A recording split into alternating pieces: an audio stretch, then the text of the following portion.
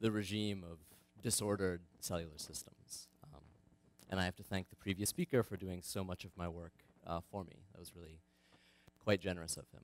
Um, so, indeed, we're going to be interested in trying to understand, um, trying to understand the properties of these kind of dense, confluent monolayers of epithelial tissue. Um, and you know, we're not the kind of first people to look at videos like this and imagine trying to coarse grain the system um, into um, treating cells as interacting geometrical, uh, geometrical units, right? And uh, we heard a little bit about how, uh, right, how these models treat the shapes of cells. And one way you can kind of define what the shape of the cell is in this two-dimensional cross-sectional view um, is to imagine that the degrees of freedom of your model really are the individual vertices of every polygon. The vertices are free to move around. You invent rules that govern the topological transitions here. So how is it that cells are allowed to undergo rearrangements by kind of having these vertex merging and splitting events? Um, and then you go from there, right? Another kind of quite simple and I think mathematically appealing way of thinking of these cellular systems um, is the so-called Voronoi model, where instead you imagine that the degrees of freedom are just individual cell positions, right? And then the shape of the cells comes from uh, taking a Voronoi tessellation of the space around. So the shape of the cell is just given by, you know, whatever the local Voronoi area of each point is. This kind of handles the topological transitions for you and also makes generalizing to arbitrary dimension really quite easy. Really quite easy. Um, you know, for the purpose of this talk, actually, the distinction between these different sorts of models of dense tissue is really not so critical. Um, the key point is that these confluent sort of shape-based models behave really differently from particulate matter, right? One way of, one simple way of uh, seeing that is to you know, think about phase diagrams like this for, say, soft spheres, um, where you can imagine there's, you know, a high temperature fluid phase, you can quench through a glass transition, you can densify towards a jamming transition. You can look at this kind of phase diagram and realize that in confluent tissue, actually the packing fraction of the system is always unity. By definition, all of the area is occupied by cells, so it's like you're missing an entire axis on this phase diagram. Another kind of maybe slightly more subtle difference between the two is that um, cells really interact according to who their neighbors are. Neighbors defined by you know which uh, which cells do and do not share edges.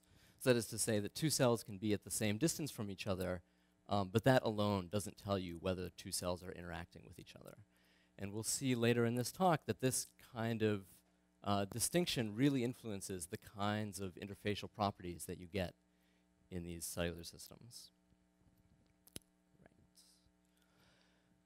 Right. and if this was any other, if this was any other conference, I would spend some time, you know, motivating the biology that goes into um, defining the energies per cells that we saw from the previous speaker. You know, I would tell you that uh, you know, cells have actin cortices, there's cell-cell adhesion, kind of transmembrane proteins, there's actomyosin cabling around collections of cells. I would show pictures like this that tell you why there's a preferred height for these monolayer-like systems. There's all this biology.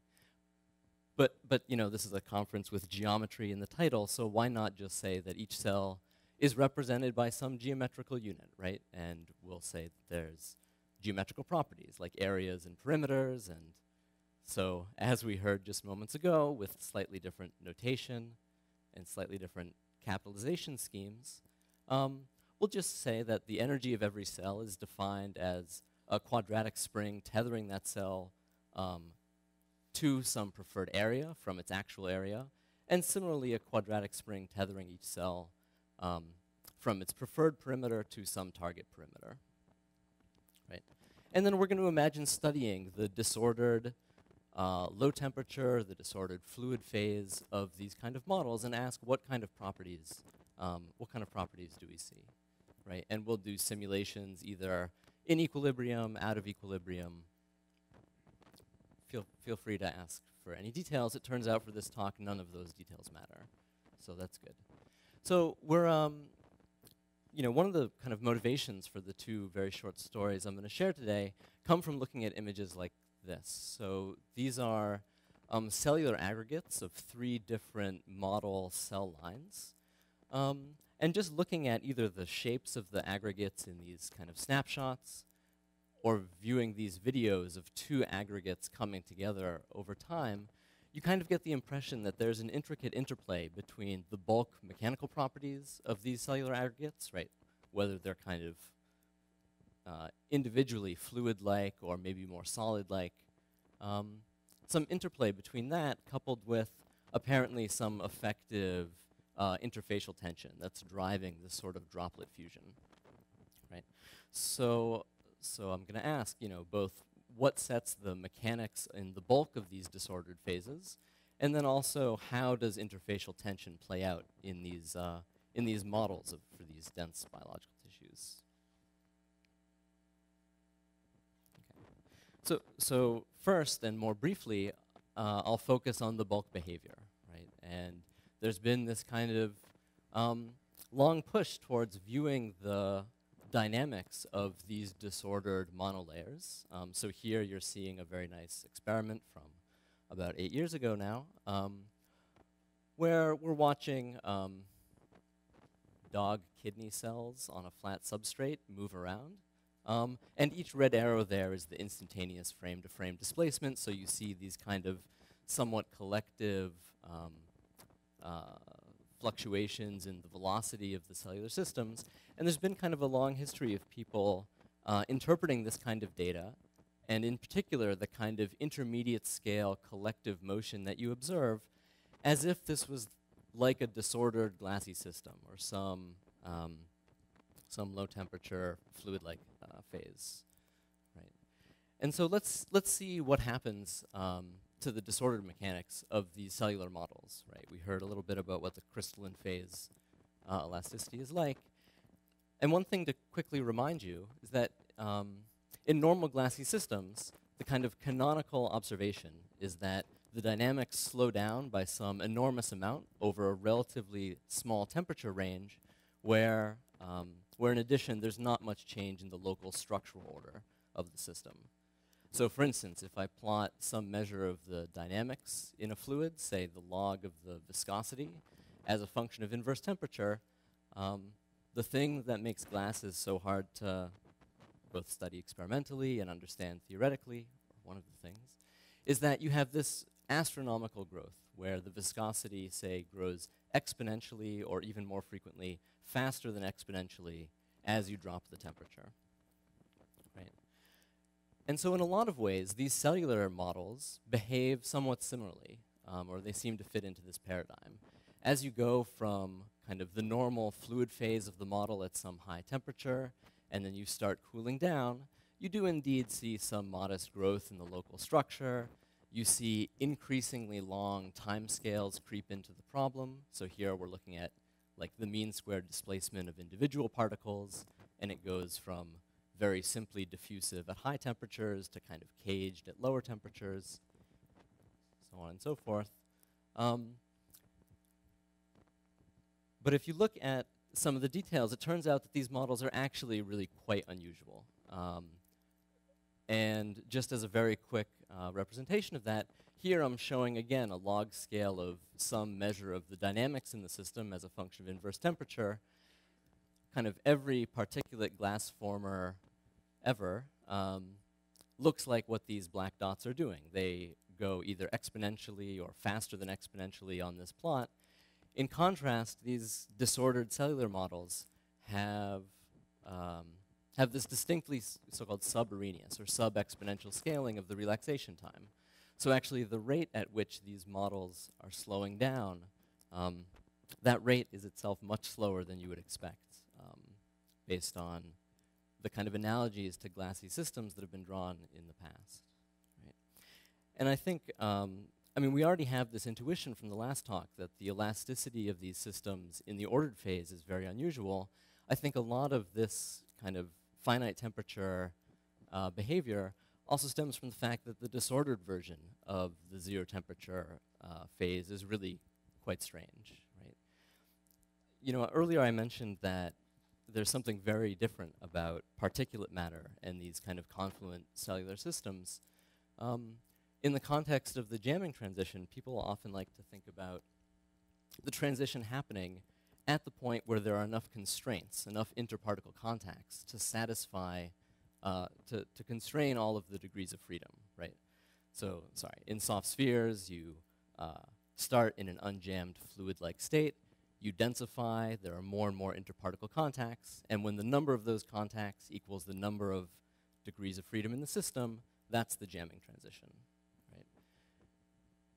These cellular models you kind of know are very weird just by doing a similar kind of argument, because actually you count up the number of constraints, how many harmonic constraints are there in your Hamiltonian, you count up your degrees of freedom, and you find that you're either, in the Voronoi model, um, exactly at the marginal point all the time. So it's like you're at the jamming transition regardless of what the other parameters in your model are. Or in the case of the vertex model, you discover that you're always under constrained, right? And so if you have any finite shear modulus, if you have any elasticity, you kind of know that it has to be in a very different class than the kind of um, rigidity imparted in, in normal particulate matter. And so indeed, here you see that um, if you look at the some measure of the modulus of the system, the shear modulus, as a function of one of the parameters in your system, here for the Voronoi model, you find that actually there's never a non-rigid phase um, there because you're always sitting at this um, very marginally constrained state. Mm -hmm. yeah. So that's just kind of a very brief um, introduction to say that the mechanics of these uh, disordered cellular systems, I think, are even weirder than people have have so far appreciated. Um, and so, with that in mind, let's try to study something that avoids all of this weirdness and ask how is it that cells are able to maintain the kind of boundaries between different, uh, different cellular species, right? So here is a, um, I think, terrifying image that I lost a bet and I said I would start including in my presentations of a transgenically modified uh, fruit fly that expresses GFP in certain cells. And you can see these incredibly crisp boundaries, um, either in the thoracic cavity, which is probably somewhere around there, um, or in the different portions of the wing disc, um, just forming these incredibly crisp compartments between different, different types of cells okay, the fact that biology can do this is maybe not so much of a surprise. I don't have an arm growing out of my forehead yet, anyway. Um, but, but how is it that they do that, right? And it turns out that this incredibly crisp uh, compartmentalization extends down to the single cell level, right? So here we're seeing uh, not fruit flies, but some kind of frog embryo extract. And we see that as a function of either correctly or incorrectly expressing some transmembrane adhesive protein. Um, the two types of cells, red and green, either form this kind of rough, intercalated boundary, or they form this uh, incredibly crisp, sharp at the level of a single characteristic cell size, uh, boundary between the two species. And how is it that cells are able to do that? I mean, like mechanically, how do they do that? Historically, people have often tried to describe this kind of cell sorting and cell segregation um, as if the two cell species were basically immiscible fluids governed by some effective interfacial tension. And you can imagine in that context that in order to get an interface this sharp, the amount of tension the cells would have to be generating would be, I mean, not astronomical, but maybe biologically implausible, right, in order to get interfaces which have kind of no roughness whatsoever. So one of the things we wanted to ask was just how is it you know, how does surface tension play out in these confluent models, and is it any different from how it plays out in uh, particulate in particulate uh, matter? So we're going to run a bunch of simulations, um, and we're going to take exactly the same kind of shape-based energy um, for each cell, and we're just going to decorate it with this, I mean, totally innocuous term, right? We're just going to say that if a red cell and a blue cell, red cell and a blue cell are in share an edge, we'll penalize the energy by some amount proportional to the length of that interface, right? So we just put a line tension between different cell species into the problem. Biologically, actually, this term is almost automatic because it's just true that cells can independently regulate actually both tensions and relative adhesions at the interfaces between different types of cells. Um, and in the model, I mean, in the model, anything is easy to put in, so it, it makes sense. Um, all right, so what I'm going to ask then is, if I add this kind of microscopic parameter, what happens at the mesoscale or the macro scale? How does surface tension behave when I have aggregates um, of these interacting cell types? Okay. So I'm going to try to measure the effective surface tension of blobs of cells. And experimentally, there's lots of kind of very cool ways to do this. So you can imagine doing this kind of parallel plate compression experiment where you're you know, exerting forces and you see how much the cell aggregates deform. You can try to do a much more microscopic measurement with uh, like a micropipette aspiration and ask as a function of you know, pressure differences that you impose, how much, how much curvature do you get, all kinds of cool stuff? So to start out then, let's try to numerically mimic exactly this uh, protocol. So I'll have this blob of red cells in a sea of blue cells. I'll take these two parallel plates, and in a strain-controlled manner, I'm going to squish this cell together, right? And as I perform this strain-controlled uh, compression, I'll measure the force that I need to exert on those plates in the simulation in order to uh, maintain them in that fixed position. All, of them. Yep, yep. So this particular one is, um, is almost certainly a Voronoi model, but, uh, but everything that I'm going to tell you about is insensitive to that difference, as far as we can tell. Yep, thank you. So, right, so the nice thing about this way of measuring effective surface tension is that um, just by knowing the long time steady state force that you need to hold a droplet at some fixed position, together with a measurement of the geometry of that deformed droplet, you can extract the effective surface tension without needing to know things like what's the viscosity of the fluid medium it's embedded in, what's the viscosity of the thing itself. Y you just, I mean, you just do force balance, right? And so the result of this kind of uh, protocol, um, if I vary a lot of stuff, I stay in the fluid regime of the model, but I vary the preferred shape parameters, I vary the temperatures that I'm running things at, I vary the microscopic value of surface tension I impose. Um, whenever I do that, the effective surface tension of the droplet that I measure, normalized by the microscopic parameter, um, is always unity, right? S oh, right? Like that's kind of a fun way of saying you did this enormous amount of numerical work in order to be able to say that you measure exactly what you put into the model.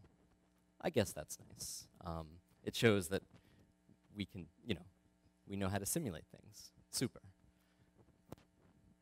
Okay, but, but right, there's lots of ways to measure surface tension. And, you know, in particular, a way that's very appealing in simulations is to look at the, um, the spectrum of interfacial fluctuations between one fluid phase and another. Right? And one of the games you can play is to ask, like, what's the relative width of this interface? How rough is it? And you can make that quantitative by, say, asking what's the density of red cells as I go from the center of the strip out towards the other phase. And here I'm showing that density measurement of red cells as a function of system size.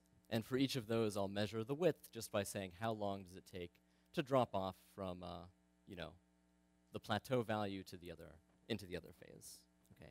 And why might you want to make this measurement uh, in this way? Well, it's because I'm, I'm doing this simulation under periodic boundary conditions. So then the size of the simulation sets the longest wavelength fluctuation that I can fit into my simulation that's compatible with my simulation. Um, and so, you know, in equilibrium then, this is just a totally textbook problem of saying, as I, you know, am able to explore different ranges of, uh, of wave vector, how should the interfacial width scale, right? And I'll just, I'll skip to the answer and tell you that the interfacial width um, squared is supposed to go like some intrinsic length scale that you don't really know how to estimate. Um, and then in two dimensions, this is the, uh, this is the finite size scaling. And qualitatively, the terms kind of make sense. Um, if you crank up the temperature, the interface can be much rougher. If you make the simulation bigger, the interface can be rougher because you're fitting longer and longer wavelength modes in. And of course, if you crank up the surface tension, you get these very sharp, uh, very sharp interfaces. Okay, great. Um, so we know what we should expect, and we can measure that too. Here is just one particular example for one particular random set of parameters. This is like what the data looks like. Um, and the problem is that this data for the width squared as a function of how big a simulation I ran, you know, the problem is that this dashed red line is the equilibrium prediction. Actually, the lower bound of the equilibrium prediction, setting the width squared naught term to zero. Um, and it turns out that this kind of orders of magnitude discrepancy between the observed width, which is incredibly sharp, and the expected width, which is whatever you expect, is insensitive to all of the details that, um, that we could think about. So you could do kind of equilibrium simulations either of the Voronoi model or the vertex model. You could do the kinds of lightly non-equilibrium simulations of cells actively pushing themselves in particular directions. All of those things kind of don't make much of a dent in this gap between um, the lower bound of some prediction, again, on a logarithmic scale, and um, what you would expect. So on the one hand, this is kind of a very, uh, a very kind of fun scenario we find ourselves in. It turns out this model is able to support interfaces which are mechanically just as soft and squishy as you might have expected based on whatever parameters you put into your simulation. But if you do a measurement based on how sharp the interfaces are, you find that the, the cells can support interfaces which are radically sharper than you expected. Another way of saying that is that for only a little bit of tension, you get a lot of interfacial sharpening. So on the one hand, that's kind of a, a cool mechanism that maybe cells are actually exploiting. Um, you know, on the other hand, I feel just as a matter of principle that when someone says here's the results of an equilibrium simulation, and here's an equilibrium prediction, you know, I imagine that there's like a constellation of statistical mechanical greats gazing down at you kind of disapprovingly, you know, wondering, wondering what's going on. Um, and it turns out that the answer is in that other small difference that I told you about between confluent cell tissue and uh, particulate matter. And that's that, you know, again, cells interact precisely with who they share an edge with, not metrically, not, I mean, not based on the distances between cells. One way of expressing that in a very short time um, is to imagine doing a very idealized calculation of what the interface interfacial properties might be, um, again, in this highly idealized geometry of square cells of red type and blue type in perfect registry with each other. Okay?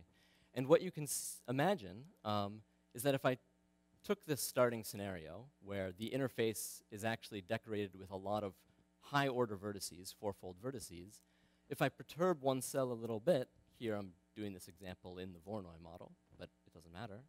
If I perturb one cell a little bit, the effect is to split one of these high order vertices into pairs of lower order vertices, right? So I'm discontinuously changing the number of cells that this uh, particle i is interacting with, that discontinuously changes the set of forces acting on that cell.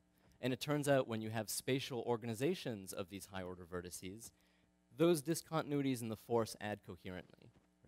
So, so you can quickly do the energetic calculation and discover indeed that actually these cell-based models um, provide a very natural way of living in a cusp-like energy landscape instead of an energy landscape where everything is just harmonic basins, right?